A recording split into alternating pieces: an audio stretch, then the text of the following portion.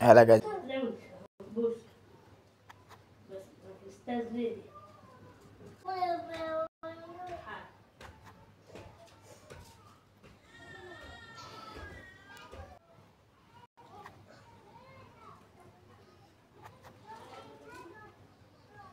so you will be checking you know guys to be so easily no